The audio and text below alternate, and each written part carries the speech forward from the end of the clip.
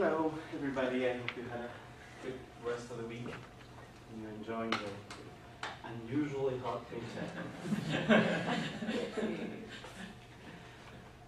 um, so briefly, we spent the last lecture on two topics. One, uh, we finished uh, model selection, which was the question of how do we estimate the number of principal components in PCA. And the key uh, observations that I made that are related to model selection where that, uh, and I'm writing this because I'll need it today, is that one can do model selection by penalizing uh, the error.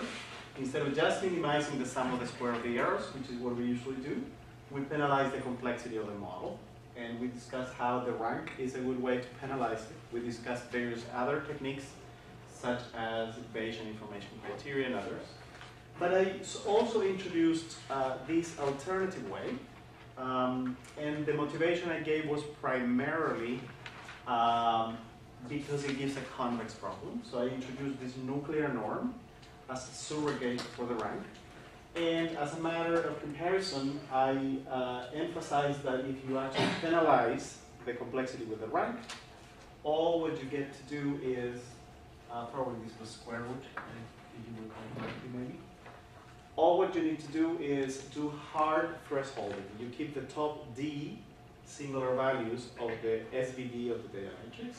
Well, the top D is determined as those singular values that are above a threshold, and the threshold is the square root of tau, where tau happens to be the penalty term you put in front of the rank.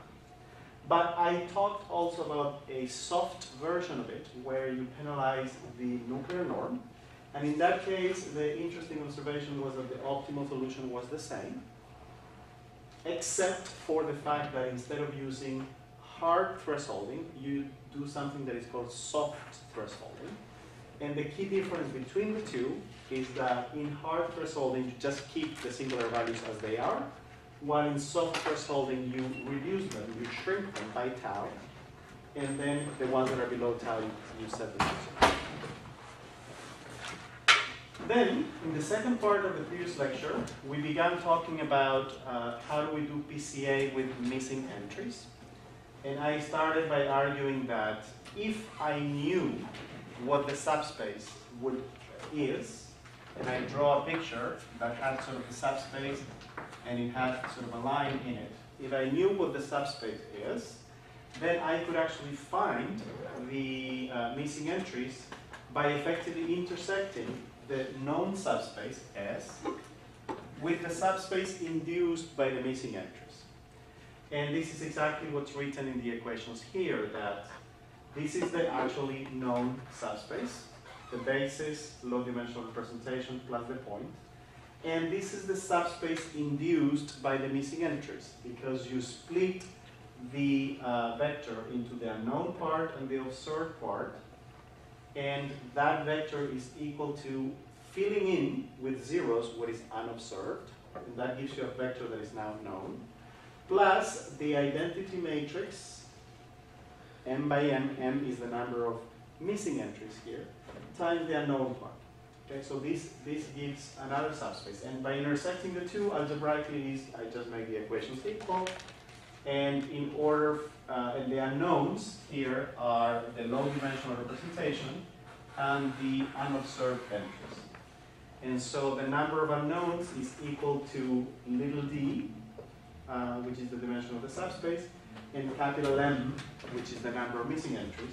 And that's why I need the rank of the basis of the subspace augmented with the columns of the identity corresponding to the missing entries to be number of missing entries plus d. And we ended up by saying, well, this is equivalent to saying that the number of observed entries, which is the total number of entries minus the missing ones, needs to be at least little. Right? So in other words, I, in order to be able to reconstruct the point, a necessary condition is that the number of observed entries is equal to the dimension of the subspace. Okay. Now, all of that, however, was under the hypothesis that I know what the subspace is. So if I give you the subspace, then you can complete any data point. And I try to argue that intuitively, this condition really means that this matrix needs to be full column rank, and therefore it would fail if the missing entries, uh, sorry, if the columns of the identity corresponding to the missing entries are linearly dependent with the basis for the subspace. So more broadly, we need some sort of condition that prevents the missing, the patterns of missing entries to coincide with what the subspace is. And how do we formalize and make that precise? That's going to be the topic of, of today's lecture, as well as the important topic of how do I actually find the missing entries in the case where the subspace is not known. Because in this particular case, I will just go ahead and solve the equations, but for that, I need to know the basis, and I need to know the point defining the subspace. So what if I don't know? So um, first, um, let me further emphasize uh, the fact that this problem is not going to be always solvable, and what do I need in order for it to be solved? So first of all, all of the equations that I wrote here were always just one point. Okay. How do I complete one point provided that the subspace is known? If I want to actually find the subspace, in the case that is unknown, I need to have many data points, right? not just one. So the, the general situation is going to be that the data matrix X uh, that is going to be given to me is going to be a D by N matrix. And some entries uh, will be known, a few of them, throughout uh, all over the place in the matrix, but many others might not be known. Okay, so I have now multiple samples from that subspace. Okay, so um, let me actually have one particular example uh, that I think highlights the challenges of doing this, of trying to solve this problem. And it highlights the fact that in principle, it's almost like an impossible task. So let me give the following concrete example. Suppose that this matrix, uh, that the true matrix that I'm trying to reconstruct was um, the following matrix.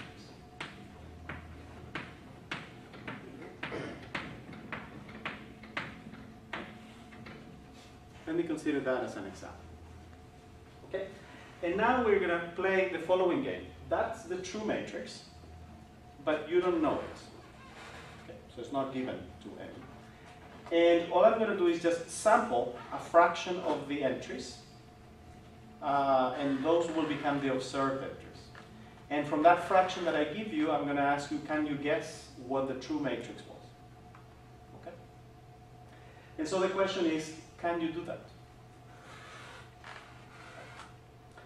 And so, uh, what is the fundamental issue? The fundamental issue is that if you look at that matrix, right, sample whatever, 90% of the entries, and they have become now observed. Okay. What are those entries going to be? Most likely, with very high probability. All of them are going to be zero, right? And if you keep sampling, imagine now that this matrix was very large. I sort of wrote a 4 by 4 matrix, but imagine that it's a million by a million, and one entry, the entry 1, 1 is non-zero.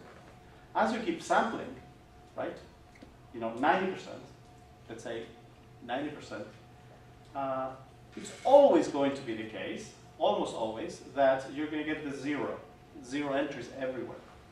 So what is your best guess as to what the true matrix is? Particularly, if I tell you that it's the lowest possible rank, right? what is your best guess? Is that it's going to be the all zero matrix. So how in the world are you going to tell that you have the, a matrix that has only one entry that is non-zero versus the zero matrix? Okay. So that's clearly a pathological case of a particular matrix that is going to be essentially impossible to complete. Okay.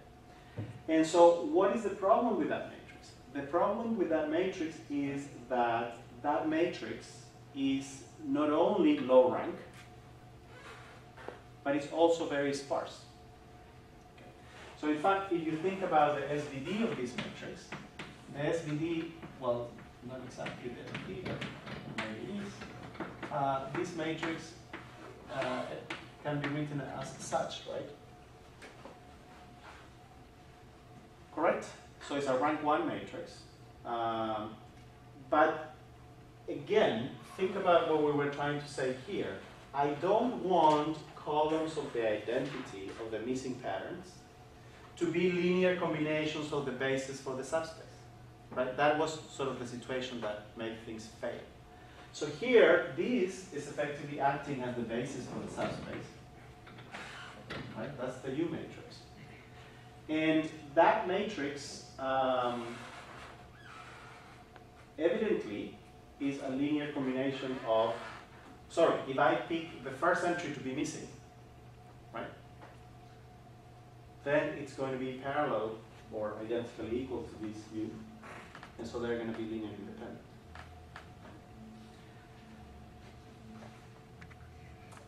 So that's example number one a failure mode. Example number two, suppose that the matrix I gave you was now, in fact, let's say it's fully complete everywhere. And now, one entire column is missing. What about that case? Can you uh, reconstruct that extra column? Huh? Uh, is, is that column independent with all other columns? What I mean is, there is a matrix there, it is low rank, but there is one entire column that I don't give you. And the question is whether you can recover that column.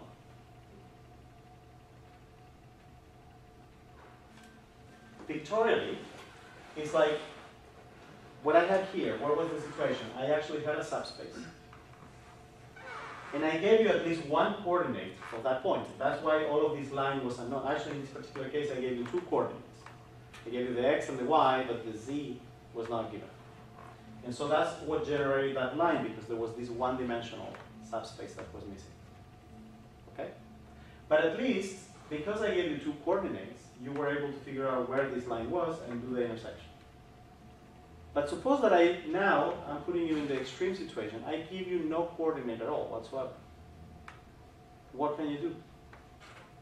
Well, the fact of the matter is that you've got no information as to where that point might be. And so any, any point in the subspace is, is equally good from that perspective. So that's another pathological case where you can't do anything about it. Okay. So what this suggests is that there needs to be sort of two I mean, it's, it's, just intuitively suggesting that there needs to be sort of two types of condition. On the one hand, uh, the way in which the entries are missing cannot be sort of pathological. It cannot be the case that I'm missing all of the entries of a data point. That's, that's going to be a failure. Uh, on the other hand, the way in which the entries are missing needs to be somewhat different from the basis of the subspace. Okay, and that's somewhat different. Uh, I'm going to write right now what it means more formally, and that's going to be the notion of incoherence. Okay.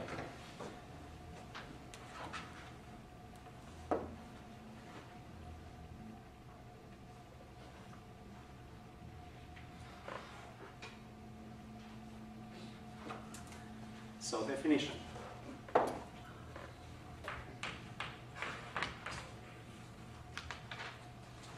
So x r d by n is nu incoherent.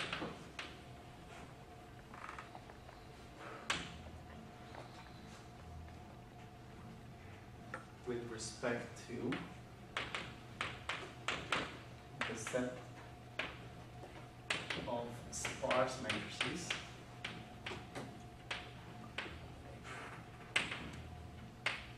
If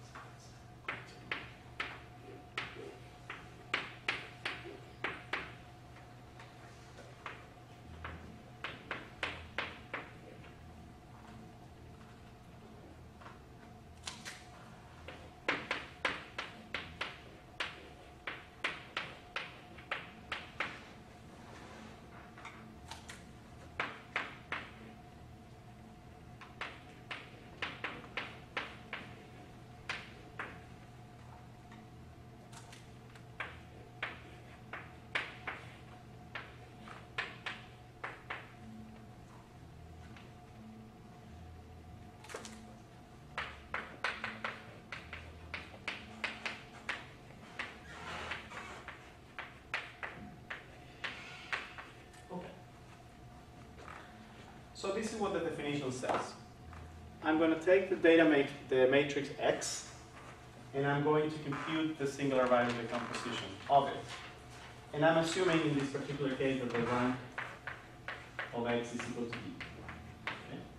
So I've got a matrix, the matrix has rank D, I compute the compact SVD of that matrix, and I look at the following properties of SVD.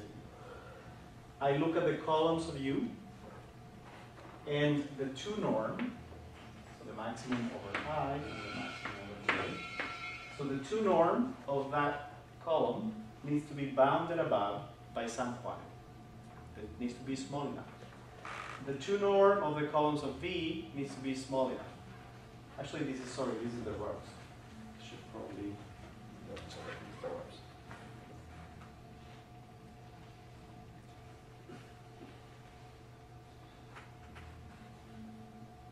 Yes. So UI, the i row of U, and AJ is the J row of U. Okay, so let's try to understand what this definition really means. Okay? So let's consider the SVD. And now let's consider the row. So one, U2 transpose, UV transpose, sigma, and likewise here, V1 transpose, Vn transpose, transpose. Okay. So if you remember, um, the matrix U and the matrix V need to be orthogonal. So the columns of them need to be orthogonal to each other. So in addition, every column needs to have unit norm, right? They need to have unit norm and they need to be perpendicular to each other. So consider now the following situation that, you know, for the sake of an argument, suppose that uh, the first column was 1, 0, 0, 0. The first column of U was 1, 0, 0, 0. Okay. So in that particular case, um, can you tell me what this entry is? Zero, right? Because it needs to be orthogonal to the first. And likewise, all other entries to be zero. And the rest, I'm not making any hypothesis the time being. Okay? But as soon as one of the columns is one of the basis vectors, there needs to be a row that is also a basis vector. Okay? Because of the orthogonality. And what we're doing right now is look at the norms of the rows. So this is a particular case where I'll take this row, right? And the norm of that row will be exactly equal to 1, right?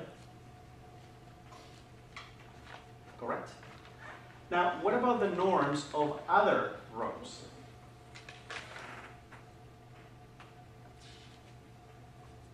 Will they be bigger than 1 or less than 1? What do you think? Huh? Let's think about it. Suppose that I had a full matrix that was, you know, square matrix. And let's say that it was orthogonal. What is the sum of the, what is the norm of every column? One. What is the norm of every row? Yeah, if it is squared, it's orthogonal in one, both in the rows and in the columns, right? What is the U matrix? It's just the compact SVD. So it's really, I had a fully squared matrix U, and I just took a subset of it, right? The top D. Right? So I know the sum of the squares of every row should be equal to 1. What's going to happen if I remove a piece of it? Huh? It's going to be at most 1, right?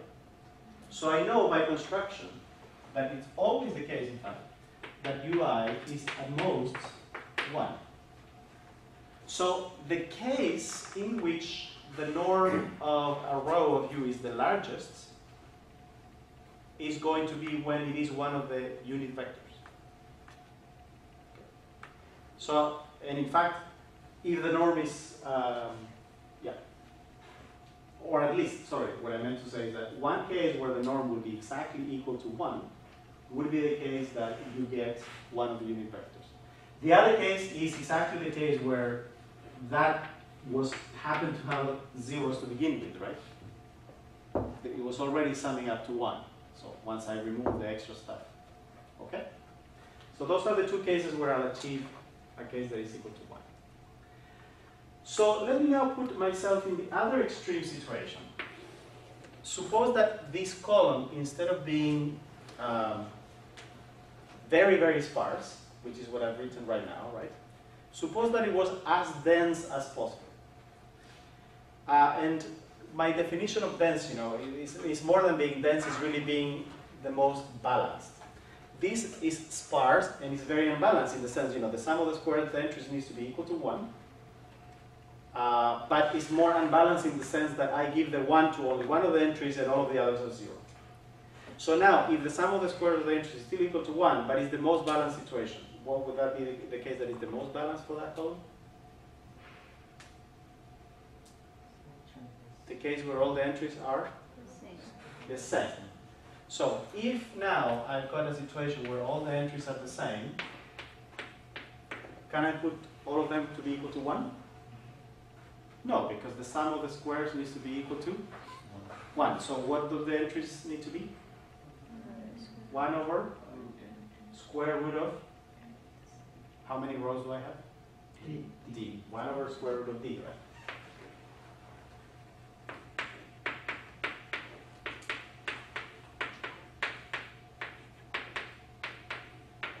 Okay. But of course, it doesn't need to be all with ones, right? It could be with plus 1 or with minus 1. Agree? So let's say, in fact, that I'm able to build a complete row, and I'm, I'm just going to put plus and minuses here, but I guess you believe me that I can build a matrix uh, where all the entries are the same, except for different signs, and they are still orthogonal to each other. All right? Do you believe me that? It's possible. So in that particular case, let me consider one row. What is the norm of that row when all the entries are equal to each other? So in this particular case, that norm of u1 is equal to what? Little d. Huh? Little d. Little d by by big, little d by big D. maybe Okay. Who disagrees?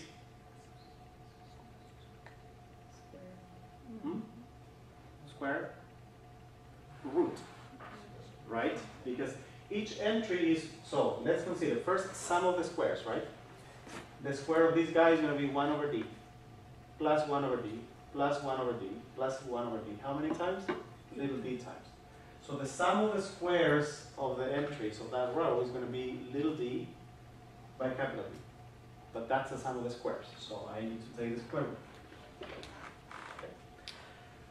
All right, so all I'm trying to argue, okay, this was a lot of blah, blah, blah, but I'm just asking the question, what does the norm of the rows of U look like?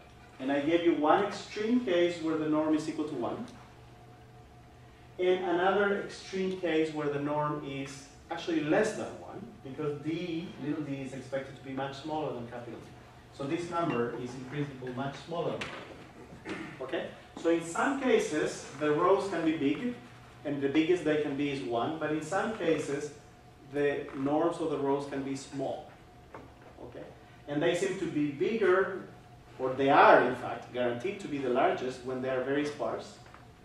And they are smaller when when they're, all the entries are approximately the same, plus or minus sign.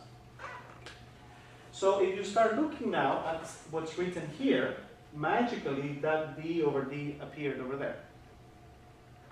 Okay? And so what this says is that I want the rows of u to be small. How small? This is kind of this, if I didn't have the nu, this is sort of the smallest possible they can be. Because I could not have a row that was identically equal to, z- well, I could potentially have one that was identically equal to z. But the nu parameter therefore controls how small they are. If I select the nu to be very, very large, right? Effectively, this is no constraint. But if I start to let the nu be smaller and smaller, in particular if I let it to be one, right? That is sort of getting to this situation where I really want all of the rows to be non-zero and equal to each other and very balanced. Okay? So therefore, this is sort of a very fancy way of saying that you do not want the rows of you to be sparse. And by analogy, you know, this, this, this example I hope illustrates the fact that if the rows are sparse, you have to get some columns that are sparse as well. Okay? So, in summary, what does this says? It says that um, you don't want to have too many columns, or you don't want the columns of U to be sparse. This one says you don't want the columns of V to be sparse. Okay? And why is that needed? Well, let's go back to what I was trying to say. We want the columns of the identity for the missing entries to be, to, you know, to be incoherent with the columns of the basis of the subspace. So what this is saying effectively is exactly that. I take the SVD, the U matrix gives you the basis for the subspace. Okay? And it's saying, do not let those columns of U to be sparse.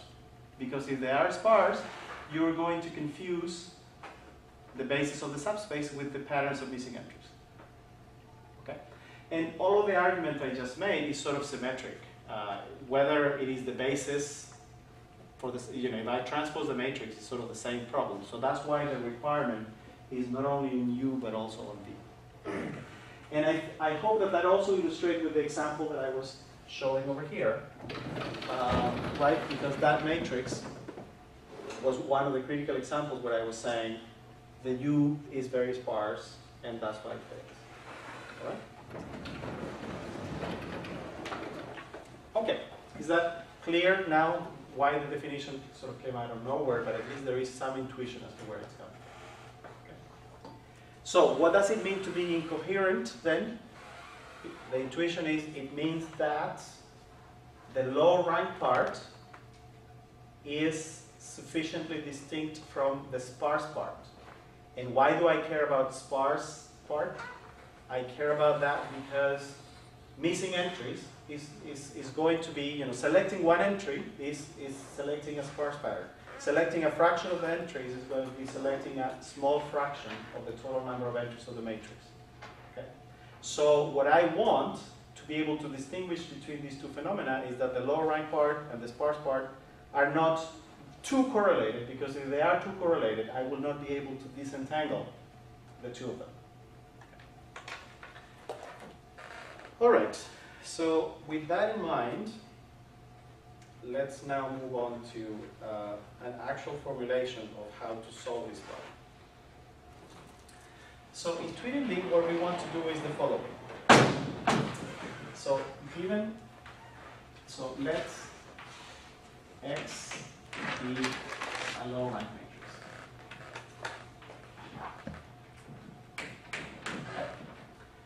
We're going to define this set omega, which is going to be the set of all entries such that uh, xij is observed. Okay. We are going to define this uh, operator p omega that goes from the d by n matrices to d by n matrix. That does the following p omega of x is um, equal to xij if i comma j belongs to omega and 0 otherwise. Okay, so this p omega, all it does is that it takes the input matrix and replaces by 0 the ones that are not observed. Okay, it keeps intact the part that is observed and it sets to 0 uh, what is unobserved. So intuitively, what we want is, you know, given x, or given actually, we're not given everything, right? We're just given p omega of x. That's, that's the problem formulation. I know the observed entries, that's all I know. What I want to do is uh, find x. Right? That's really the goal. Or this is what we usually refer to as complete x. And all I know is that it's low rank. So here's the way we're going to formulate the problem. We're going to say find a matrix A such that p omega of A is equal to p omega of x. And A is low rank. Right? That's one way to, to formulate the problem one step closer. What does this mean? This means find a full matrix A of the same dimensions as X and make sure that the observed entries of A agree with the observed entries of X. But for the missing entries, I, I don't put any constraint because I don't know. And so going even one step further, what I can now try to say is maybe minimize the rank of A such that uh, p omega of A is equal to p omega of x. And now I actually have a formulation. Find the matrix of the smallest possible rank that agrees with the entries of the given matrix.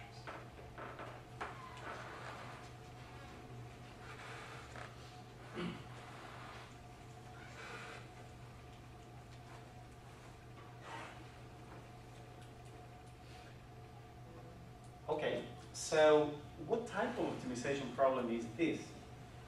Let's look first at the constraints. The constraints are what? Are linear, quadratic, are convex, non-convex? What are the constraints? Linear. Actually, it, really what this says, you know, if you just read it right now, this says that aij is equal to xij for i comma j in omega. Right? So they're remarkably simple. They're not they're linear, of course. Actually, it's just that the values of the entries are known. Right? They're equality constraints, so it couldn't be simpler. So in terms of constraints, this is sort of very tricky. So the only thing that is hard is that, uh, of course, this is minimization over A, is that I need to find the matrix of lowest possible rank. And that's now very nasty. So what we're going to try to do is to relax uh, the problem. And instead of considering the rank, we are going to consider the nuclear norm. So what if we minimize the nuclear norm instead?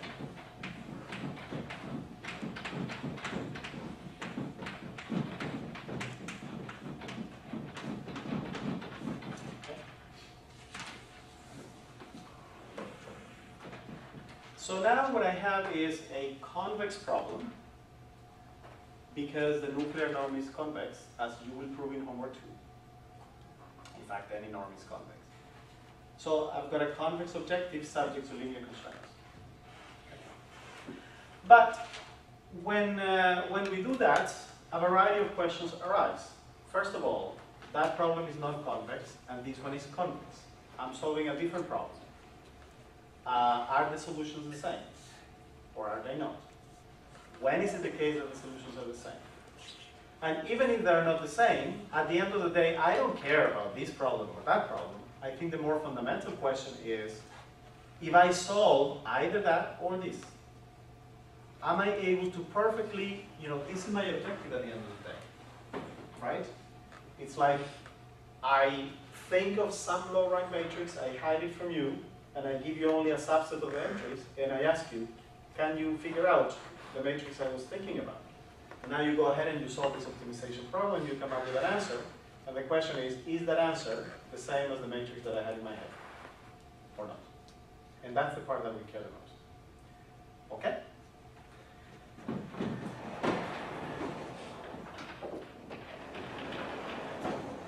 Now, before I move on to what's going on, let me um, talk slightly a little bit more about that problem uh, because it may not be so familiar to you. Uh, and I'll try to relate it to a problem that might be a little bit more familiar. So just to make an analogy, um, let me consider now the following alternative problem, which is um, minimize the L0 norm uh, of A subject to um, well, this is not sort of a standard notation. Uh, try to use a more standard notation. It is the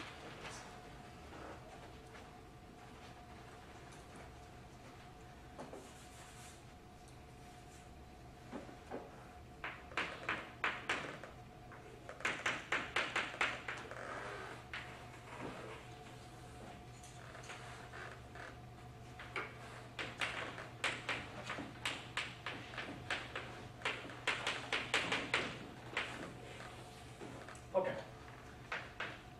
So the L0 semi-norm is just the number of uh, i's such that xi is different from zero. Okay? So that's the number of non-zero entries of a vector. The L1 norm um, is the sum of the absolute values of the vector. And the absolute value, as you know, as a function, the absolute value of x is equal to x. If x is positive, it's equal to minus x if x is negative. So it's a function like this. Okay?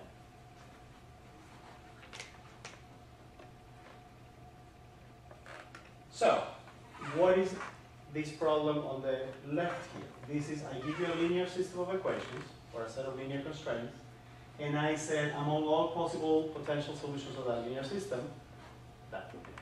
Of course, I'm assuming that the solution exists. As you do know from linear algebra, there are cases where this linear system has no solution. There are cases where the solution is unique. There are cases where there is a infinitely many solutions. So I'm sort of considering the case where there are infinitely many, and among those, I'd like to select the one that has uh, the that is the sparsest, namely the one that has the smallest number of non-zero entries. And instead of doing that, because that is a little bit of a combinatorial problem, I search for a solution that minimizes the L1 norm, which is the sum of the absolute values. Okay? So I'm introducing this because I want to make an analogy with, um, with the, the problem we are considering. But just to complete, uh, once you look at a problem like this, Uh, you can see that. In fact, let me make a special case. If the x was non-negative, right, the absolute value of x would become just x. Agree? And so what would this problem on the top right be? It would be minimize the sum of the entries of x, subject to a linear constraint. That is what type of optimization problem? A linear program, right? Is minimizing a linear thing subject to linear constraints. And so I, I typically the set of linear constraints might define, for example, this is just an example, a polytope And by minimizing, I'm just moving the value, and let's say eventually I get to, to this corner, and that's where the optimal solution is. And for linear programs, we know that the solution is typically in a corner. Okay? Again, this is not an optimization class, and some of you might have taken optimization, some of you may have not. So for those of you who have taken optimization, uh, this is just a little basic refresher. Uh, right? And for those of you who haven't, just you have to just believe me. Okay.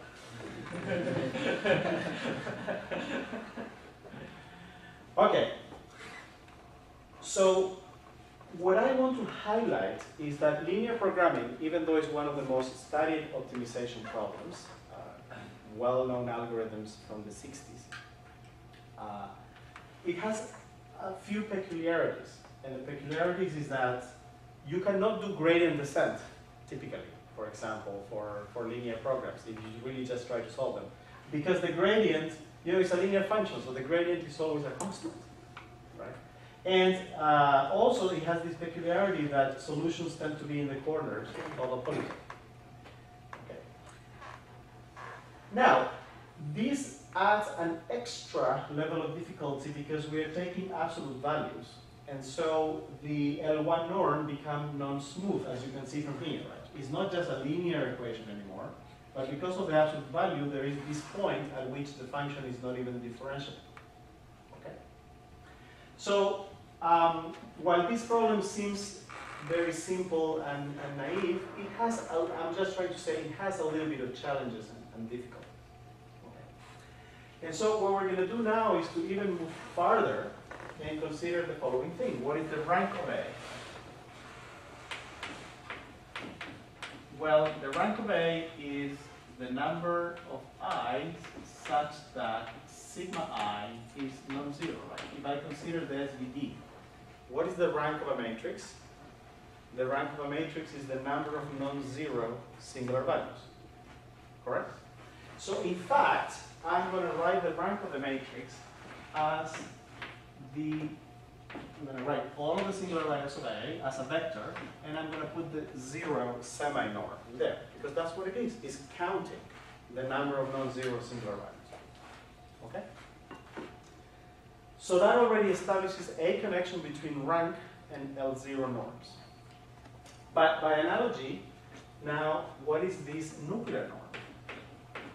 Well, the nuclear norm is just the sum of the singular values of A. That's how it was defined, is the sum of the singular values. But that is exactly equal to the sigma A and L1 norm. Because what is the L1 norm? The L1 norm, I just introduced it, is the sum of the absolute values of the entries of the vector. It so happens that the singular values are non-negative. So whether I put the singular values or whether, sorry, whether I put the absolute value or not, it's irrelevant.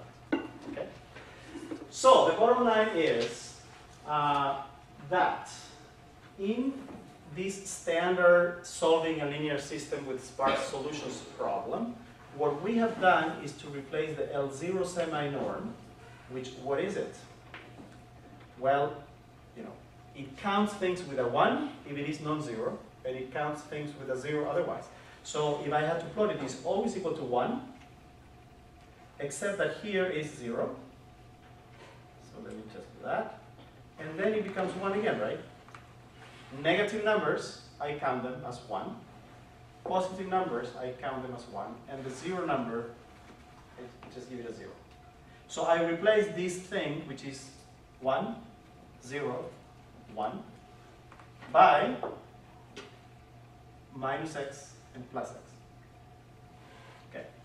So by analogy, what's going on here is that the rank of a matrix is something nasty because, you know, as long as, the, the analogy is here, you can make the number bigger or smaller, but the, the, the number of non-zero entries doesn't change. In the case of a rank, you can modify linear combinations of things, so, but the rank might, might be the same. So, in the same way that the L1 norm is discontinuous, uh, not discontinuous, but non-differentiable at the origin, this nuclear norm, okay, also will have problems with differentiability. Okay? Every time that um,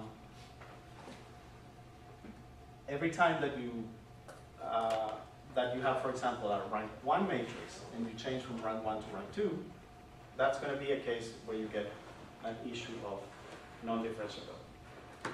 So this was a long uh, story to try to convince you that the problem on the top left and on the top right, uh, on the one hand, they're extremely simple because the constraints are linear. They're equality constraints. So the simplest possible case. But the rank is non-convex and non-differential. And we're going to replace it by a convex objective, but it is still non-differentiable. And in principle, I cannot just do something like gradient descent, okay, because it's non-differentiable. And, uh, and so, we need to be very careful about how we're going to solve that problem. But for now, I hope it's clearly formulated, it makes sense when we're trying to do it. And so what we need to do now is two things. One is, does this problem make sense? Namely, is the optimal solution to this problem equal to the true low rank x that I started with? Two, how do I actually solve it numerically?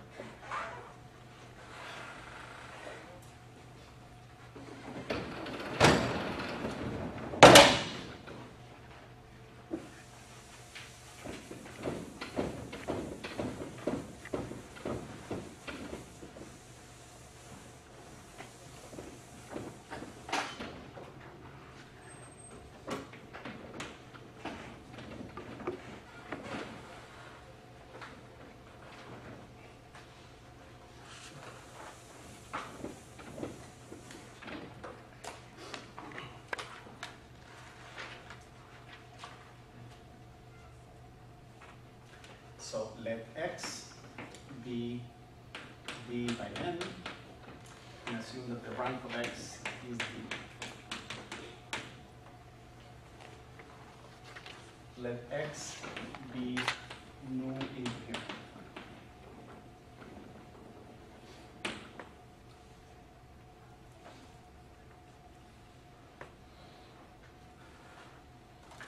So, um,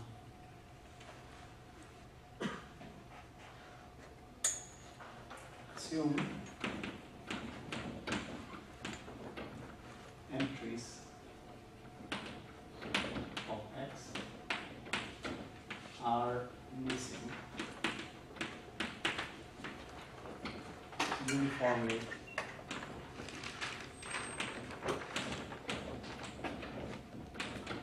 at random.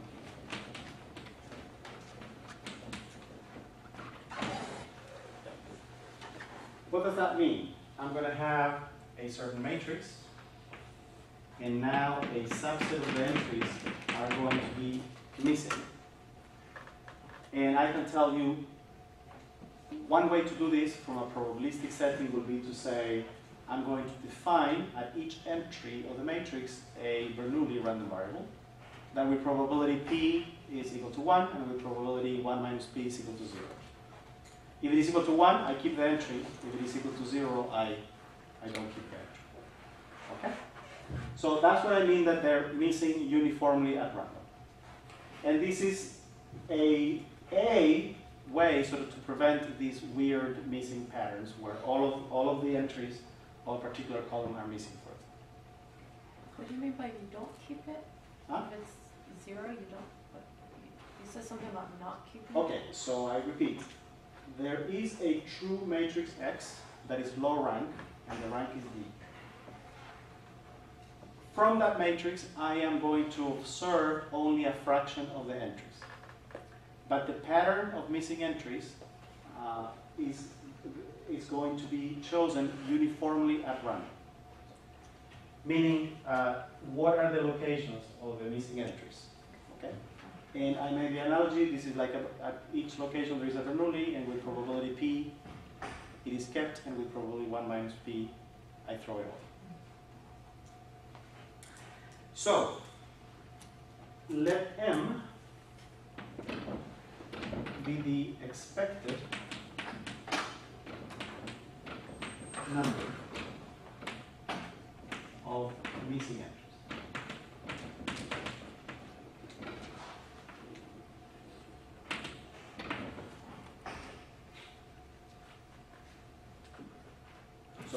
served entries. Uh, of served entries.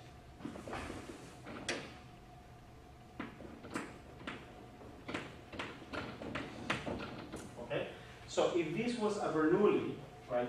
If, re- if really I had a Bernoulli, uh, let me call it Zij, which is equal to one with probability, or maybe I should have written it. A Bernoulli. Zij is Bernoulli with probability p. So this means that the probability that Zij is equal to one is p, and the probability that Zij is equal to zero is one minus p. So if that was the case, what would be the expected value of observed entries? Uh, P times D N. Exactly. So this is equal to P and D times P. That's, that's what I mean by the.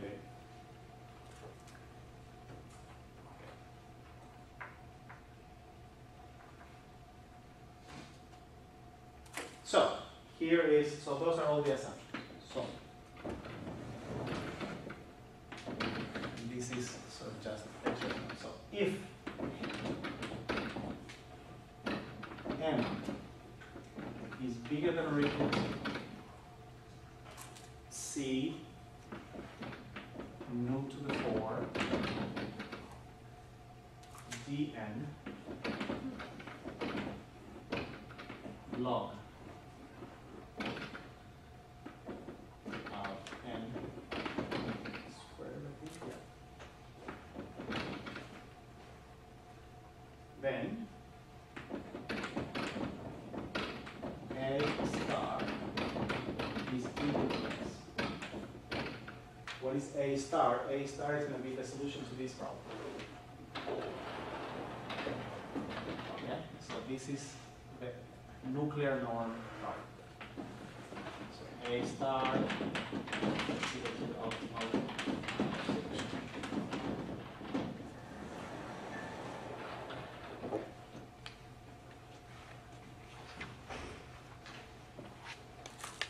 etc. with probability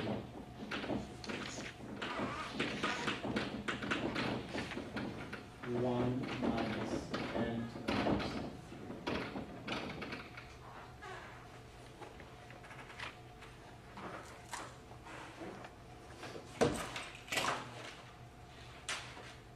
So let me try to explain what the theorem is trying to say. So if I just start to, so what, what we're trying to do here is the following. There is a true matrix X that I don't know. I sample this Bernoulli to give you some observed entries, and you go ahead and let's say you had an algorithm that is able to find the optimum, the optimal solution for that problem. Okay? And now you ask the question, is the result that, I, that the algorithm obtained equal to the X or not? Okay. So what this theorem says is that if the uh, number of observed entries in expected value, the expected number of observed entries, is above some number, which I'm going to discuss the details of what the number is in a moment. But in a sense, it says if you give me sufficiently many entries, then the optimal solution to that convex optimization problem will be exactly, will be unique, and will be exactly equal to the low rank matrix that you needed to complete. Namely, you can perfectly complete the low rank matrix with no error whatsoever. Now, the last statement, what it says is that, uh, well, you're doing lots of experiments. Every time you generate a new pattern of missing entries. So what it says is that you will be able to perfectly able to complete that matrix for most patterns of missing entries. Because the probability with which you will be able to do it perfectly is 1 minus n to the minus 3. What is n? n is the number of columns of the matrix. So if if the matrix is large, if there are lots of columns, this probability, this, term goes to 0. Right? So with probability 1, right, with probability almost 1, you will be able to recover the matrix correctly. In other words, what it really says is that the types of patterns of missing entries for which this algorithm fails is a very small fraction. It's on the order of 1 uh, divided by n to the cube. So is the statement of the theorem clear as to what is being said? What are the restrictions on C? Ah, so I'll, I'll, that's the part of the theorem that I haven't explained yet. Okay. Are we clear yet on what the theorem is trying to say? Okay. That for most cases, if the number of observed entries is large enough, you can perfectly recover the missing entries. Okay? With overwhelming probability is what the last statement. So let me now zoom in into what the conditions are. So C is a constant here. Okay, so what really this should be read as M is on the order of whatever follows that. Um, I don't want to say anything wrong here. I, I don't, uh, I believe people have studied what this constant might be and there might be some papers about it but um, I don't know all of the details. So this constant could be large, for example, which could be a, a bad thing. Uh, but I don't know the details. So for the time being, all what the theorem says is that there exists a constant c such that if this is bigger than that, then this happens. What are the other pieces of the theorems? There is this nu to the fourth power. What was nu? Nu was the definition of incoherence. And what I had said earlier was that the smaller the nu, right, the sparser, um, sorry, the, the smaller the nu, the more dense the, the rows of u were supposed to be, right? So if nu is large, I am allowing potentially sparse columns of u, and that's a bad thing, right? Our intuition was that the smaller the nu, the better. And that was my calculation here with the end solution. So here, what this effectively says, you know, if the number of observed entries is bigger than something, so if the nu was large, I need many more entries in order to succeed. But if the nu is small, which means that the matrix is really incoherent, then I need less entries. So that's also explained. Then, um, this term here. I had said earlier that in order to, a necessary condition, in order to complete just one data point, is to observe at least little d entries for that point. If I don't observe any entry, I'm, I'm dead. But because the subspace has dimension d, I need to observe at least little d. Because I'm trying to complete not just one point, but n points, what is the minimum lower bound of the number of observed entries that I really need? Well, little d per point. So the smallest possible number would in any case be little d times n. Okay? So what is really remarkable about this result is that um, the smallest number of observed entries is, this is sort of the bare minimum just to start talking, right? So what this says is that the, the, the lower bound is exactly equal to the minimum modulo this logarithm factor on the size of the data. So, so there is an extra pay, uh, price to be paid. I need to observe more entries than the minimum to be able to complete it. But the extra factor is just logarithmic on the number of entries. Okay?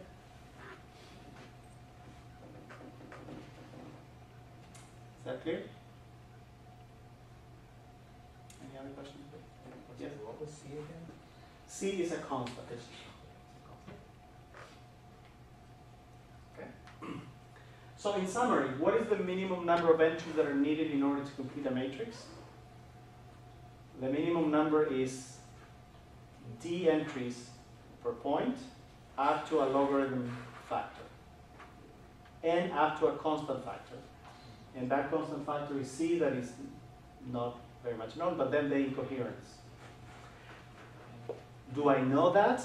I mean, if I, if I give you a matrix, would you be able to verify this theorem? Well, no, because if I give it to you, it will be incomplete. So you don't know whether it's incoherent or not. So you wouldn't be able to compute the nu. And um, what else you wouldn't know? Well, the theorem also is a theorem in probability. So is if you try to if you do the experiment a million times, right, for different uh, missing patterns, then in most cases you will get it right. But in practice, I'll just give you one set of missing entries, right? I'll just give you one matrix and you have to complete it. Okay. So it is really, really, really good to know that this theorem exists and it provides strong evidence as to why solving that optimization problem is uh, a good thing to do. But it doesn't mean that I will be able to verify it in practice. So in practice, all I'll do is that I'll give you a matrix, you'll run the algorithm, you'll get a solution. Uh, hopefully it'll be low rank, so that will tell you uh, something about it, but you wouldn't be able to verify it. Is it log of n square or log, log n whole square? Uh, log of n and then square. So if, if you prefer, I can put the square here. If that, if that's less. Okay. Okay, I'm not going to prove the theorem because um, it's not so easy to prove. Uh, so let me just move to the algorithm as to how we can solve this problem.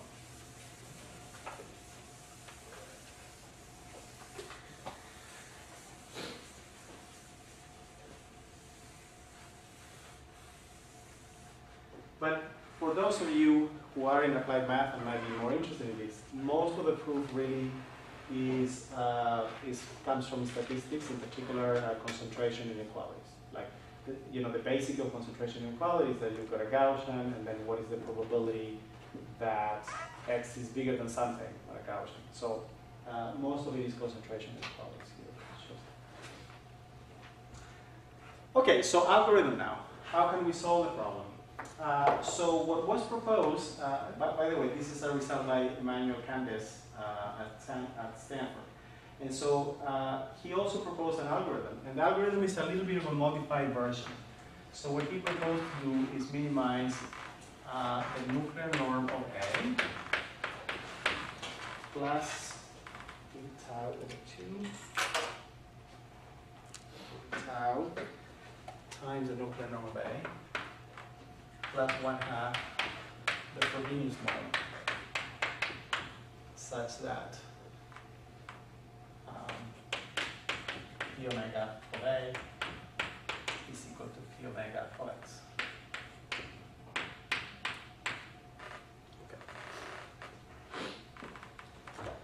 Why this modification? Um, first of all, I argued earlier when I was introducing the problem that this nuclear norm is not smooth. Okay? So what happens is the intuition that you should have in mind is that this thing really looks like the L1 norm, but I'm adding now the Frobenius squared, so I'm, which is like this. So when, once I add them up together, it really looks maybe like this, but now it's smooth there, right? So I fix the, the problem. Okay, that's, that's the basic intuition uh, as to what's going to happen. But actually, the, the real reason why this extra term is added is because now, as you're going to see, we're going to be able to solve for A, or uh, at least within the algorithm that I'm going to discuss, in closed form. Uh, that being said, however, there is this parameter tau that shows up here. So you should expect the following behavior. If tau is really small, this problem and the problem on the top right are completely different problems. But as tau keeps growing, and if I let tau go to infinity, then this term will dominate that term. And they've shown in the paper that uh, in that case, the optimal solution to this problem will essentially what happens is that this will produce a solution that depends on tau, and as tau goes to infinity, it will converge to the solution to the problem that we want. Okay, that's the, the basic equation. So let me tell you now how we solve it and the algorithm to do it. And the fact of the matter is that in MATLAB, you're going to see that with almost like two lines of MATLAB code, you can implement now a way to complete matrices. So, uh, we're going to use the method um, of Lagrange multipliers. And so we're going to have tau times A plus 1 half A for B squared. So, I already told you this. How do we handle Lagrange multipliers? It's the objective plus lambda times the constraint. Here, uh, the constraint is uh, a matrix of constraints, um, but at this point, um, you should not be scared about matrices of constraints. Right? What do we do? Objective plus dot product between Lagrange multipliers and the constraint. That's what we learned already. So plus the dot product between a matrix of Lagrange multipliers that I'll denote by z and the constraint, which is p omega of x minus p omega of a. Right? And we always need to write the constraint equals to zero before we get stuck.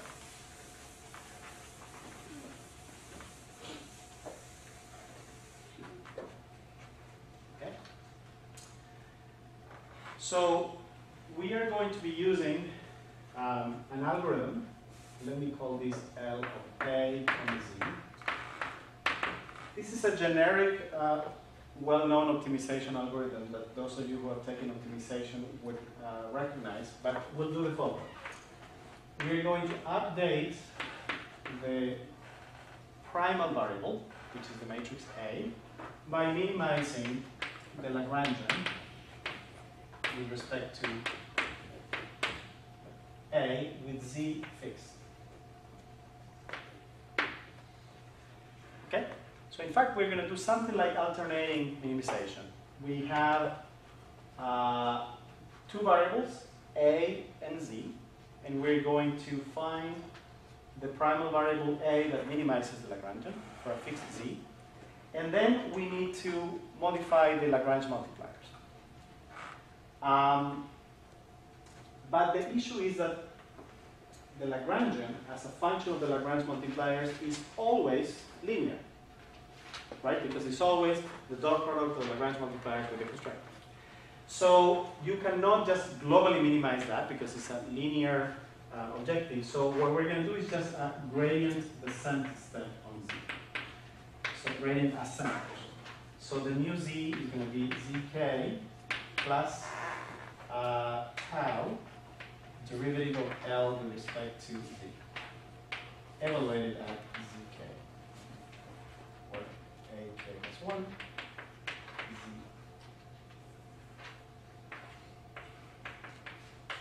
Okay. So that's going to be the algorithm. Find the optimal solution for A, and then take a gradient step on. And that's a generic algorithm, by the way. I'm, I've written it here for this specific Lagrangian, but this is true in general. Okay, so you have, uh, in fact, it's called the method of Lagrange multipliers.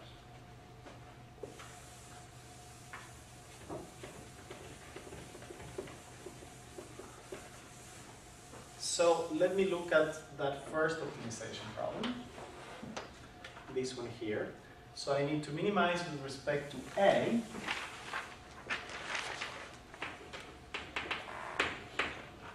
Tau times the nuclear norm of A plus 1 half A for B squared plus, uh, what else do I have? So you look at this objective is this times that, but that's a constant, right? So it's just this times that. So it's really minus the dot product between z and p omega of a. Okay? Now forget about the fact that this is matrices. Think about it. This is almost like a squared minus a times something. So what I'm going to try to do is to complete the square. Except that I just lied to you a little bit. It's not a square minus a times z. There is this annoying p omega forever.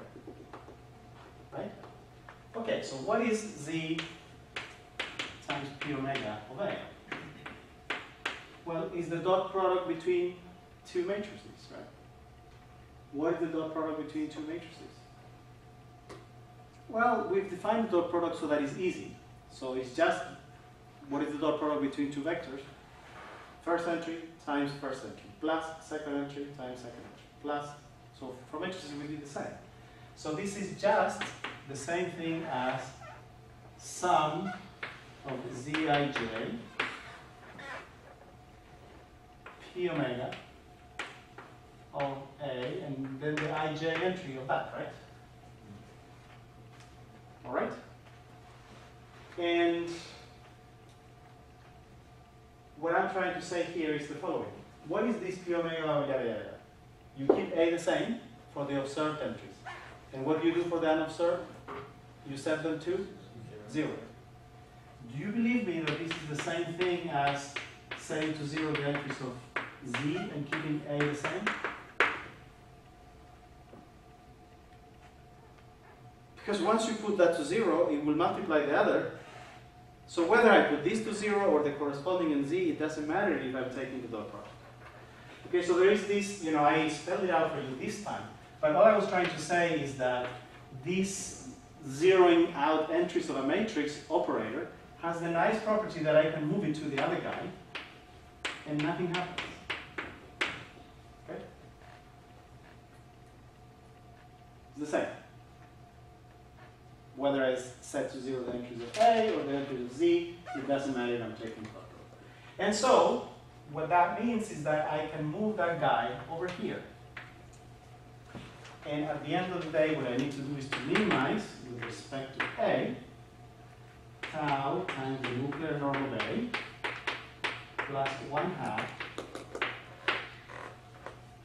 And now I'm going to complete the square. Because now I've got A squared minus something times A. Okay, so how do you, if these were scalars, how do you complete it? Huh? If I had one half of a squared minus az, how would I complete it?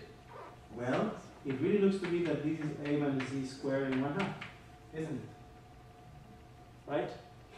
Sure, there is, okay, I need to do something like that maybe, but that's a constant and I'm minimizing, so the constant is irrelevant. All right? Is that clear? So I hope I, you're convinced that this is A minus P omega of Z. Is that right? Just complete the square. All right. So now, now you will know why I wrote what I wrote at the beginning of the class. Look at what happens here. Given a matrix X, found a matrix E that is close to it, but it also should have low nuclear norm. Given this matrix here, find a matrix that is close to it that has low nuclear norm. Oh, I can solve that problem in closed form. What is the optimal solution? The optimal solution is what? Shrinkage threshold. So shrinkage thresholding parameter tau applied to g omega of z.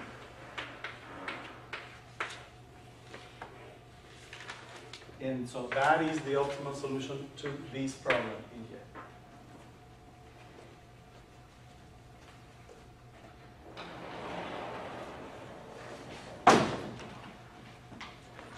And I apologize that I'm late, but it's just one more minute. I'm really done. but this is two minutes, right? You're, you have to be patient with extra four minutes.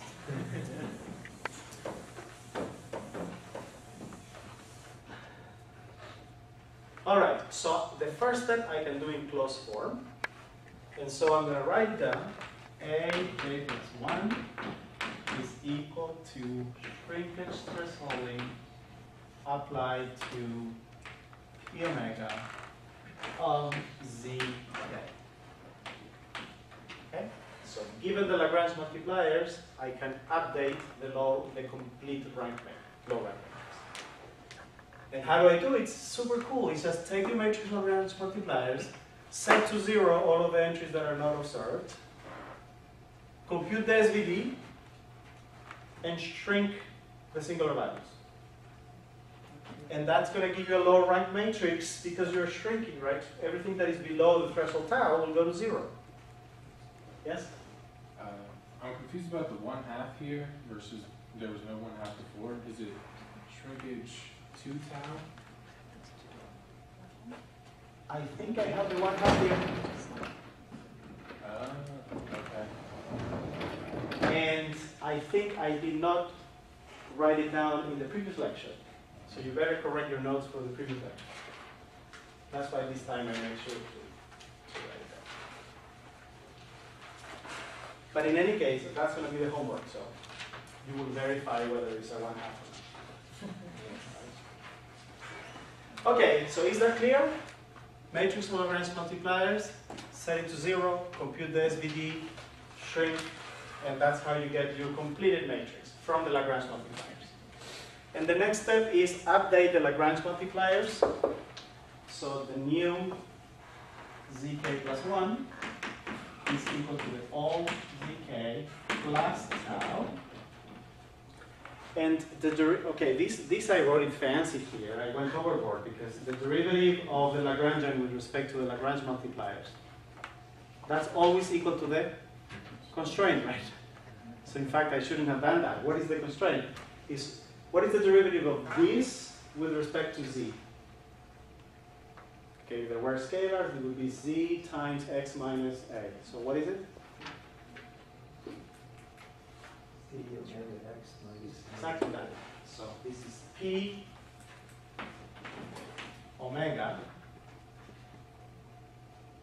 of x minus a k plus one. And I hope you believe me now that whether I take x and set the entry to zero, then take a and set the entry to zero, and then take the difference, versus I first take the difference and then set the entry to zero, is the same thing, right? Doesn't matter. Okay? So those are the two lines of the MATLAB code to complete a matrix. And now you iterate, of course. What do you start with for C? Ah, brilliant question. So I need to initialize somewhere.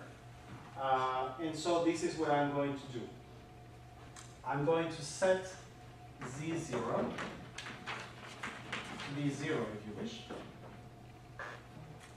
But look at what's happening here. Look at this equation. I really want you to pay attention here. This is x minus a, whatever that might be. P omega. So I set to zero all of the unobserved entries. So if the initial z already has zero entries at the unobserved ones, this plus that, what property will have?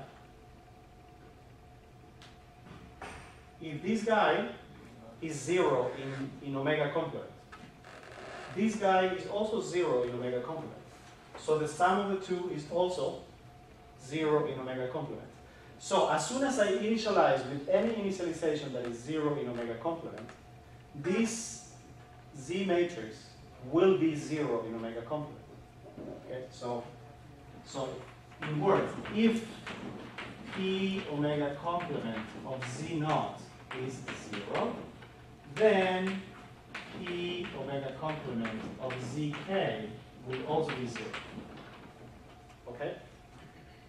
So the, the matrix of Lagrange multipliers will always be zero in the unobserved entry. So as a consequence, this part here is not even needed. Because it's already true by the second step. Okay? So in general, that initialization is enough. Um, but otherwise, you may argue, in fact, maybe I'm going to ask you in the homework to, to try this out, but I think a better initialization might simply be take the matrix X, fill in with zeros the, uh, the unknown entries, and compute the SVD and get an initial guess for A. And then initialize A. That, that's another way. But the fact of the matter is that this objective is strictly convex, okay? And so this algorithm, uh, because the problem is strictly convex, it will be guaranteed to get to the global optimum. And so initialization matters only to the point of will I converge in one iterations or in 20 or in 100? But you will always converge. I guess I have a small confusion about the tau in the objective function Yes. and the tau in the update step. They're not. s- Brilliant question.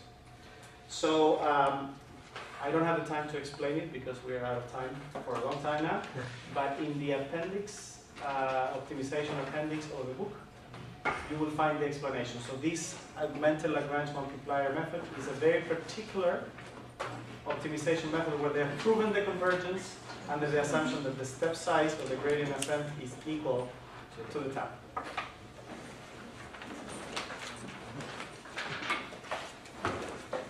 See you next week.